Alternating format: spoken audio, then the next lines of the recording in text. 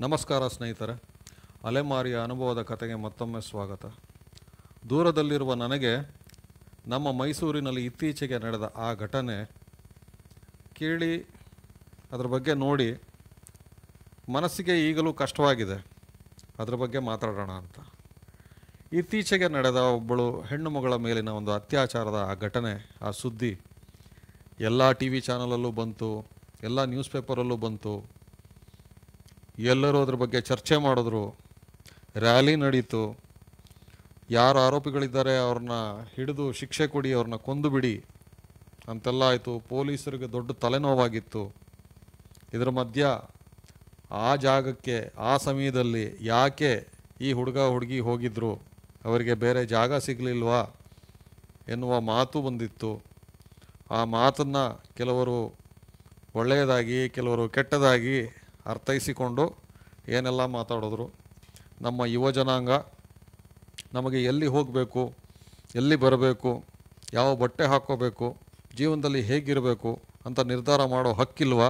ಯಾಕೆ ಎಲ್ಲದಕ್ಕೂ ಮೂಗು ತೋರಿಸ್ತೀರಾ ಅಂತ ಎಲ್ಲ ಯುವ ಜನಾಂಗದವರು, ಅದರಲ್ಲೂ ಹುಡುಗಿಯರು ಟಿ ವಿ ಚಾನಲ್ಗಳ ಮುಂದೆ ಬಂದು ಮಾತಾಡಿದರು. ಇಷ್ಟೆಲ್ಲ ಆಯಿತು. ಪೊಲೀಸರು ಹಾಗೂ ಹೀಗೂ ಆರೋಪಿಗಳನ್ನ ಹಿಡಿದ್ರು. ಸ್ಥಳ ಪರಿಶೀಲನೆ ಕರ್ಕೊಂಡು ಹೋದರು. ಕರ್ಕೊಂಡು ಹೋದಾಗ ಅವರಿಗೆ ಬಹಳಷ್ಟು ವಿಷಯಗಳು ತಿಳಿತು. ಯಾಕೆಂದರೆ ಈ ಕದೀಮರು ಇಂಥ ಕೆಲಸನ ಮೊದಲನೇ ಬಾರಿ ಮಾಡಿದ್ದಲ್ಲ, ಬಹಳಷ್ಟು ಬಾರಿ ಮಾಡಿದ್ದಾರೆ. ಹಾಗಂತ ಇವರೆಲ್ಲ ಬಡ ವರ್ಗದವರು ಓದು ಬರಹ ಗೊತ್ತಿಲ್ಲ ಕೂಲಿ ಕಾರ್ಮಿಕರು, ಈ ರೀತಿಯಾಗಿ ಅವರ ಬಗ್ಗೆ ವಿಶ್ಲೇಷಣೆ ಕೂಡ ಆಯಿತು. ಈ ಕೇಸು ಮುಂದೇನಾಯಿತು? ಯಾರಿಗೂ ಗೊತ್ತಿಲ್ಲ. ಈಗ ಯಾವ ಟಿ ವಿನಲ್ಲೂ ಅದ್ರ ಬಗ್ಗೆ ನ್ಯೂಸೇ ಬರ್ತಿಲ್ಲ. ಈಗ ಏನಿದ್ರು Taliban, Afghanistan, corona, Nipah B B M P election ಮತ್ತೆ ಮುಂದಿನ್ನೇನಿದೆಯೋ ಗೊತ್ತಿಲ್ಲ. ಯಾಕೆ ಇದು ಅರ್ಧಕ್ಕೆ ನಿಂತು ಹೋಯಿತು? ಇದೇನು ಮೊದಲನೇ ಸಾರಿ ಈ ರೀತಿ ನಡೆಯೋದಲ್ಲ. ಯಾವುದೇ ಏನಾದ್ರೊಂದು ವಿಷಯ ಬಂದರೆ ತಲೆ ಚಿಟ್ಟು ಹಿಡಿಸುವಷ್ಟು ಟಿ ವಿ ಚಾನಲ್ ಅವರು ಅದನ್ನು ಬೆಳಿಗ್ಗೆಯಿಂದ ರಾತ್ರಿವರೆಗೆ, ರಾತ್ರಿಯಿಂದ ಬೆಳಿಗ್ಗೆವರೆಗೆ ಊದಿ ಊದಿ ಊದಿ ಊದಿ ನಮ್ಮ ತಲೆನಲ್ಲಿ ಮಲಗಿದ್ರೂ ಕನಸಲ್ಲಿ ಅದೇ ಬರುತ್ತೆ. ಆದರೆ ಈಗ ಅದ್ರ ಬಗ್ಗೆ ಸುದ್ದಿನೇ ಇಲ್ಲ. ಸರಿ, ಏನಾಯಿತು? ಆ ಹುಡುಗಿ ಈ ಕೇಸಲ್ಲಿ ಕೋಆಪ್ರೇಟ್ ಮಾಡ್ತಿಲ್ಲ. ಅವಳು ಯಾರ ಮೇಲೂ ಕೇಸ್ ಕೊಡ್ತಿಲ್ಲ. ಪೊಲೀಸ್ ಜೊತೆ ಇಂಟ್ರ್ಯಾಕ್ಟ್ ಮಾಡೋಕ್ಕೆ ಇಷ್ಟ ಇಲ್ಲ. ಈ ರೀತಿಯಾಗಿ ಕೇಳಿದ ನಂತರ ಆಕೆಯ ಅಪ್ಪ, ಅಮ್ಮ ಒಂದು ಪ್ರೈವೇಟ್ ಹೆಲಿಕಾಪ್ಟರ್ ಮಾಡಿ ಆಕೆಯನ್ನು ಕರ್ಕೊಂಡು ಹೋದರು ಅಂತ ಕೇಳಿದ್ದೀವಿ ಆಕೆ ಜೊತೆಗಿದ್ದ ಆ ಹುಡುಗ, ಅವನ ತಂದೆ ಅವನಿಗೆ ಬೇಕಾಗಿದ್ದನ್ನು ಏನೋ ಸರಿ ಮಾಡಿ ಅವರು ಕರ್ಕೊಂಡು ಹೋದರು ಅಂತ ಕೇಳಿದ್ವಿ.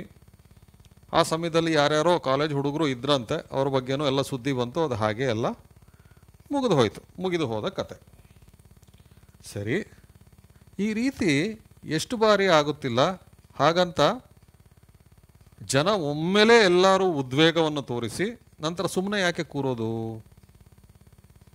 ಈಗ ಈ ಕೇಸಲ್ಲೇ ತಗೊಳ್ಳಿ. ಆ ಆರೋಪಿಗಳನ್ನ ಹಿಡಿದಾದಾಗ ಆ ಆರೋಪಿಗಳ ಮನೆಯವರು, ಅಯ್ಯೋ, ನನ್ನ ಮಗ ಅಂಥವನಲ್ಲ ಏನೋ ಕೂಲಿ ಕೆಲಸ ಮಾಡ್ತಿದ್ದ, ಪೊಲೀಸ್ನವರು ಅವನ್ನ ಸುಮ್ಮನೆ ಹಿಡ್ಕೊಂಡು ಹೋಗ್ಬಿಟ್ಟಿದ್ದಾರೆ. ಈ ರೀತಿಯಾಗಿ ಹೇಳಿಕೆಗಳೆಲ್ಲ ಕೊಟ್ಟಿದ್ದು ಟಿ ವಿನಲ್ಲಿ, ಪೇಪರಲ್ಲಿ ಎಲ್ಲ ಬಂತು. ಸರಿ, ಆರೋಪಿಗಳ ಹಿಂದಿನ ಕತೆ, ಅವರ ಬಗ್ಗೆ ಒಂದು ಹೇಳುವಂಥ ಜನ ಈ ರೀತಿಯಾಗಿ ಹೇಳ್ಕೊಂಡ್ರು. ಇವನ ಹುಡುಗನ ಬಗ್ಗೆ ಅವರಪ್ಪ ನಮ್ಮ ಮಗ ಆ್ಯಕ್ಚುಲಿ ಆ ಥರ ಅಲ್ಲ. ಏನೋ ಆ ಟೈಮಲ್ಲಿ ಅಲ್ಲಿ ಹೋಗಿದ್ದ. ನಮ್ಮ ಹುಡುಗಿ ಆ ಥರ ಅಲ್ಲ, ಏನೋ ಆ ಹುಡುಗನ ಜೊತೆಗೆ ಅಲ್ಲಿ ಹೋಗಿದ್ಲು. ಸೊ ಅವರವರೇ ಅವರವರೇ ಈ ರೀತಿಯಾಗಿ ಅದನ್ನು ಅಲ್ಲಿಗೆ ಮುಚ್ಚು ಹಾಕಿಕೊಂಡರು. ಈ ಕೇಸನ್ನು ಮುಚ್ಚಿಬಿಟ್ರು. ಯಾಕೆ? ತಪ್ಪು ನಡೆಯುವಷ್ಟು ಕಾಲ ಯಾಕೆ ಸುಮ್ಮನಿದ್ರಿ ನಾನು ಹಿಂದೊಮ್ಮೆ ಹೇಳಿದ್ದೆ. ಮನುಷ್ಯ ಮೈ ಮರೆತಾಗ ಏನೆಲ್ಲ ಸಂಭವಿಸುತ್ತೆ ಅಂತ ನಾನು ಹಿಂದೆ ಒಂದು ಕತೆ ಹೇಳಿದ್ದೆ. ಅದರ ಮುಂದುವರಿದ ಭಾಗ ಈ ರೀತಿ ನಡೀತಾ ಇದೆ. ಯಾವುದೇ ವಿಷಯ ತಗೊಳ್ಳಿ. ಮನುಷ್ಯ ಮೈ ಮರೆತಾಗಲೇ ಎಡವಟ್ಟುಗಳು, ಅಪಘಾತಗಳು ಆಗ್ತಾ ಇರೋದು. ಪ್ರಪಂಚದ ಯಾವುದೇ ಅವಘಡಗಳು ಮನುಷ್ಯನ ಜೀವನದಲ್ಲಿ ನಡೀತಾ ಇದ್ದರೆ ಅದೆಲ್ಲವೂ ಮೈ ಮರೆತಾಗಲೇ ನಡೀತಾ ಇರೋದು. ಮತ್ತು ವಿಪರೀತ ಸ್ವಾತಂತ್ರ್ಯದ ಹುಚ್ಚು. ನನ್ನಿಷ್ಟದ ಜೀವನ ಈ ರೀತಿಯಾಗಿ ಮಾಡೋದರಿಂದ ಆಗ್ತಾ ಇದೆ. ಈ ಘಟನೆಯಲ್ಲಿ ಫಲಿತಾಂಶ ಏನು? ಯಾರಿಗೂ ಆಸಕ್ತಿ ಇಲ್ಲ. ಹಾಗಂತ ಈ ಥರದ ಘಟನೆ ಮತ್ತೊಮ್ಮೆ ಮರುಕಳಿಸುವುದಿಲ್ಲ ಎಂದು ಏನು ಗ್ಯಾರಂಟಿ? ಅಥವಾ ಈ ಥರ ಘಟನೆ ನಡೀತಾ ಇಲ್ಲ ಅಂತ ಏನು ಗ್ಯಾರಂಟಿ? ಕೆಲವ್ರು ಈಗಲೂ ಹೇಳ್ತಾರೆ, ಅಯ್ಯೋ, ಈ ಥರ ಎಷ್ಟು ನಡೆಯುತ್ತೆ ಗೊತ್ತಾ? ಅದು ನ್ಯೂಸಲ್ಲಿ ಬರೋದೇ ಇಲ್ಲ. ನಿಮ್ಮ ನಿಮ್ಮ ಸಾರ್ವಜನಿಕ ಜವಾಬ್ದಾರಿನೂ ನಿಮಗಿಲ್ಲದೆ ಈ ರೀತಿ ಹೇಳಿಕೆ ಕೊಟ್ಕೊಂಡು, ಬಿಡುವಿನ ಸಮಯದಲ್ಲಿ ಮಾತಾಡಿಕೊಂಡು ಟಿ ವಿ ಮುಂದೆ ಟೈಮ್ ಪಾಸ್ ಮಾಡಿ ಮೊಬೈಲಲ್ಲಿ ಟೈಮ್ ಪಾಸ್ ಮಾಡಿ, ದಿನದ ಕೊನೆಯಲ್ಲಿ ಹೇಳ್ತೀರಾ, ಅಯ್ಯೋ, ನಮ್ಗೆ ಯಾಕೆ ಬೇಕ್ರಿ? ಈ ರೀತಿಯಾಗಿ ನಿಮ್ಮ ಜೀವನನ ನೀವೇ ಕೊನೆ ಮಾಡ್ಕೋತಾ ಇದ್ದೀರಾ.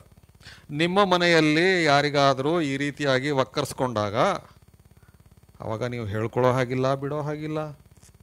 ಈ ರೀತಿಯಾದ ಒಂದು ಸಂದರ್ಭ, ಪರಿಸ್ಥಿತಿ. ಹಾಗಾಗಿ ಮೊದಲನೇದಾಗಿ ಎಲ್ಲರೂ ನಿಮ್ಮ ನಿಮ್ಮ ಮನೆಯೊಳಗೆ ಇರುವಂತಹ ನಿಮ್ಮ ನಿಮ್ಮ ಕುಟುಂಬದ ವ್ಯಕ್ತಿಗಳಲ್ಲೇ ಯಾರ್ಯಾರ ಮನಸ್ಥಿತಿ ನಿಜವಾಗಲೂ ಏನು ಅದನ್ನು ಮೊದಲು ಚೆಕ್ ಮಾಡಿ. ಯಾಕೆಂದರೆ ನೀವೆಲ್ಲರೂ ಇಲ್ಲ ಒಂದು ಟಿ ವಿ, ಇಲ್ಲ ಮೊಬೈಲು ನಿಮ್ಮದೇ ಆದ ಯಾವುದೋ ಒಂದು ಕೂಡಿ ಹಾಕಿಕೊಂಡ ಒಂದು ಮನಸ್ಥಿತಿಯಲ್ಲಿದ್ದೀರಾ. ನಿಮ್ಮ ಅಕ್ಕಪಕ್ಕ ಏನಾಗ್ತಿದೆ ಅಂತ ನಿಮಗೇ ಗೊತ್ತಿಲ್ಲ. ಅಥವಾ ನೀವು ಮಾಡ್ತಾ ಇರೋ ಕೆಟ್ಟ ಕೆಲಸ ನಿಮ್ಮ ಮನೆಯವರಿಗೆ ಗೊತ್ತಿಲ್ಲ. ಈ ಮನಸ್ಥಿತಿಗೆ ಹೋಗಬೇಡಿ.